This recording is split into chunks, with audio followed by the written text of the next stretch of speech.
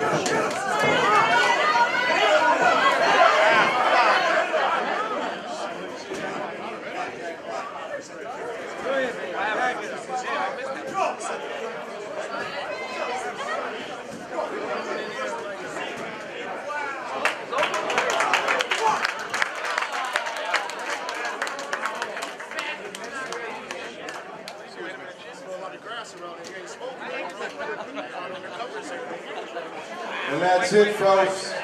The winner by TKO out of Rough House, Rotterdam, New York, Ryan St. Andrews.